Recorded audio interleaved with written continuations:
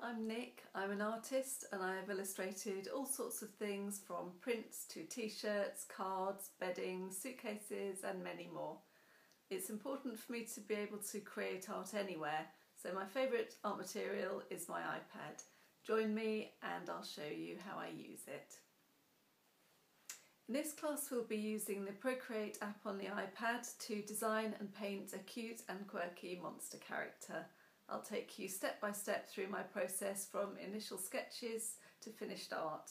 I'll show you how I come up with a colour palette, things to think of when designing the character, how I use the Procreate app to sketch, draw and paint the monster, and how to export the finished art ready to use on products.